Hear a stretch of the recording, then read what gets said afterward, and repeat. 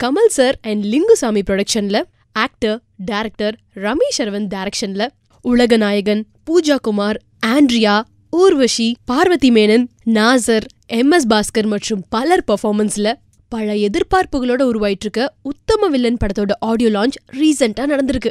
இது வரைக்கும் எல்லா ஃபங்க்ஷன்லயும் ரெண்டே செகண்ட் மைக் பிடிக்கிறவரு இந்த ஃபங்க்ஷனை ஃபுல்லா நடத்தி கொடுத்திருக்காரு. நம்ம பார்த்திபன் சார் தான். அதுவும் கோட் சூட் எல்லாம் போட்டுக்கிட்டு.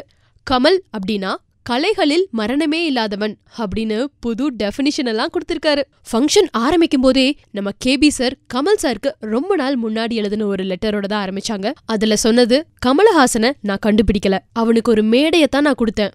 அவனை கண்டுபிடிச்சது என்னோட பாக்கியம். அவன் எனக்கு சொந்தமானவன் இல்ல தமிழ் சினிமாக்கு சொந்தமானவன். அப்படிங்கிற லெட்டர்ல ஹைலைட்டே கடைசியா டே கமல் ரொம்ப பெருமையா இருக்குடான்னு கேபி சாரோட வாய்ஸ்லயே முடிக்க முடிக்க ஸ்கிரீன் ஓப்பன் ஆக அப்படியே கமல் சார் ஸ்டேஜுக்கு வந்தாரு.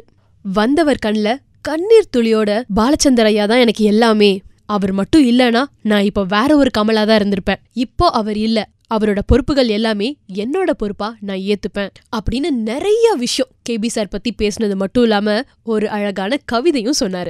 Nassar M S Bhaskar Parvathy Pooja Kumar Andrea Lingusamy Madan Karky Ghibran Vijay Sethupathi Vikram பிரபுன்னு ஃபுல் செலிபிரிட்டிஸ் நிறைஞ்சிருந்த அந்த ஃபங்க்ஷன்ல நாசர் சார் சொன்ன விஷயங்கள் உத்தம வில்லன் செட்ல இருக்கும்போது தான் இவர் பையனுக்கு ஆக்சிடென்ட் ஆயிருக்குன்னு ஃபோன் வந்திருக்கு. உடனே அந்த ஸ்பாட்ல இருந்து கிளம்ப சொன்ன கமல் சார் நாசர் ஹாஸ்பிட்டலுக்கு போற அந்த ஒன் ஹவர் கேப்ல என்ன நிலவரம் எப்படி இருக்காரு அப்படிங்கிற ஒவ்வொரு சூழ்நிலையும் அப்டேட் பண்ணாராம். இந்த ஒரு மைண்ட் செட்லயும் திரும்பவும் நாசர் சார் செட்டுக்கு வந்ததுக்கு ஒரு முக்கியமான காரணமே கொஞ்சம் அவர் மைண்ட டைவர்ட் பண்ணதானா பட் கமல் சார் கூடவே கூடாதுன்ட்டாராம். கொஞ்சம் அந்த விஷயத்த மறக்க தான் நான் ஷூட்டிங் வரேன் அப்படின்னு நாசர் சார் சொன்னதுக்கு அப்புறம் தான் கமல் சார் ஷூட்டிங்கே ஒத்துக்கிட்டாராம். சோ நான் எத்தனையோ படங்கள்ல நடிச்சிருக்கேன். ஆனா இந்த படம் என்னோட வாழ்க்கையில மறக்கவே முடியாதுன்னு சொன்னாரு.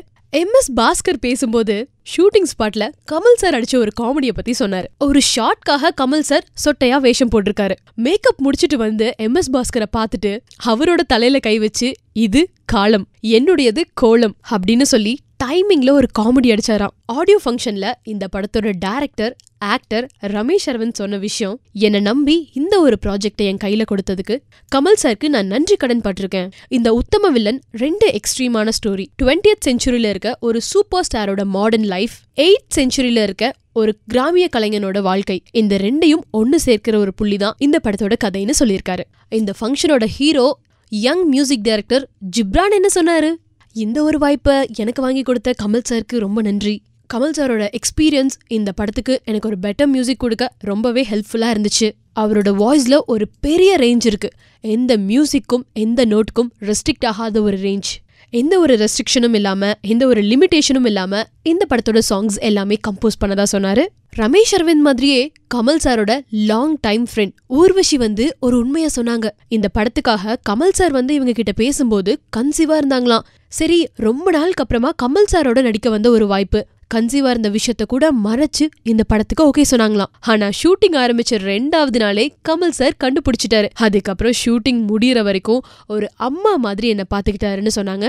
ஆடியோ லான்ச்ல பூஜா குமாரோட டான்ஸ் பெர்ஃபார்மன்ஸ் மட்டும் இல்லாம பார்வதியோட சிங்கிங் பெர்ஃபார்மன்ஸும் இருந்துச்சு. அதுவும் கமல் சாரோட ஃபேவரட் பாட்டு கண்மணி அன்போடு. இவங்க அப்படியே பாட ஆரம்பிக்க திடீர்னு ஸ்டேஜ்ல இருந்த கமல் சாரும் ரெண்டு வரி பாட அப்படியே ஃபங்க்ஷன் இன்னும் களை கட்ட ஆரம்பிச்சிருச்சு. பார்த்திபன் சார் ஹோஸ்டிங்னா சும்மாவா? தமிழே தெரியாத பூஜா குமார் கிட்ட அது இதுன்னு கேள்வி கேட்க புரிஞ்சும் புரியாமலும் கொஞ்சம் கொஞ்சம் ரெஸ்பாண்ட் பண்ணாங்க. ஏமா ஆண்ட்ரியா கூட இருக்க நீயாவது டிரான்ஸ்லேட் பண்ணக்கூடாது? அப்படின்னு நக்கலா பார்த்திபன் சார் சொன்னதை கூட கண்டுக்காத மாதிரியே இருந்துட்டாங்க நம்ம ஆண்ட்ரியா. எல்லாத்தையுமே வித்தியாசமா பண்ற கமல் சார் இந்த ஆடியோ லான்ச்ல என்ன வித்தியாசமா பண்ணாரு? லிங்குசாமி வந்து அஃபீஷியலா சீடியை ரிலீஸ் பண்ணுங்க அப்படின்னு கமல் சார் கிட்ட கேக்கும்போது சிடி எல்லாம் ஓல்ட் ஃபேஷன்பா சத்யராஜ் சொல்ற மாதிரி தகுடு தகுடு. அதை எதுக்கு போய் ரிலீஸ் பண்ணிட்டுன்னு கமல் சார் சொன்னாரு. அப்புறம் வேற என்ன பண்றதுன்னு லிங்குசாமி கேக்கும்போதுதான் இந்த படத்தோட ஆப்ப கமல் சார் போன்ல ரிலீஸ் பண்ணாரு. இருந்தாலும் பழக்க வழக்கம்னு ஒன்னு இருக்குல்ல காலங்காலமா ஆடியோ லான்ச்ல ஒரு பெரிய சீடிய ஒரு ஸ்பெஷல் கெஸ்ட் கொடுப்பாரு. அத இன்னொரு கெஸ்ட் வாங்கணும். அப்படிதானே நடக்குது? இதுக்கு என்ன பண்ணலாம் அப்படின்னு யோசிச்ச கமல் சார் டக்குன்னு அவரோட மொபைல் எடுத்து ஸ்ருதி ஹாசனுக்கு கால் பண்ணிட்டாங்க. பாவம் மும்பைல டின்னருக்கு போக வெயிட் பண்ணிட்டு இருந்த பொண்ணுகிட்ட வீடியோ சேட் ஆன் பண்ண சொல்ல. நான் உத்தம வில்லன் சாங்ஸ் அப்லோட் பண்ணிருக்கேன். டவுன்லோட் பண்ணி எப்படி இருக்குன்னு சொல்லுமான்னு கேட்டாரு. ஒண்ணுமே புரியாத ஸ்ருதி டவுன்லோட போட்டுட்டு அப்பா அன்னைக்கு நான் அந்த பையனை பத்தி சொன்னேன்ல. அப்படின்னு எக்கு தப்பா உளறக்கு முன்னாடியே ஸ்ருதி ஸ்ருதி ஸ்ருதி நீ தௌசண்ட் ஃபேன்ஸ்க்கு முன்னாடி இருக்க. வீடியோ சேட்ல உன்னை எல்லாரும் பார்த்துட்டு இருக்காங்க. உத்தம வில்லன் ஃபங்க்ஷன் போயிட்டு இருக்கு அப்படின்னு விஷயத்த கமல் சார் போட்டு உடைக்க என்ன பண்றதுனே தெரியாம அப்பா இத முன்னாடியே சொல்ல மாட்டீங்களா? அனைவருக்கும் வணக்கம். அப்படின்னு சொல்லி அப்படியே சைன் அவுட் ஆயிட்டாங்க. எந்த ஒரு ஃபங்க்ஷனுமே ஒரு சலசலப்பில்லாம முடியாதே. இந்த ஃபங்க்ஷன்லயும் அப்படி ஒரு பிரச்சனை இருந்துச்சு. நிறைய ஃபேன்ஸ் விஐபி டிக்கெட்ஸ் எல்லாம் வாங்கி வெயிட் பண்ணிட்டு இருந்தாலும் அத்தனை பேருக்கும் உள்ள போக ஸ்பேஸ் இல்லையா? என்னங்க இது? அஞ்சு மணில இருந்து வெயிட் பண்ணிட்டு இருந்தோம். இப்படிதான் ஏமாத்துவீங்களான்னு சொல்லி பயங்கர சலசலப்பாயிடுச்சான் ஆக மொத்தத்துல பதினேழு ட்ராக்கோட உத்தம வில்லன் ஆடியோ லான்ச் இனிதே முடிந்தது.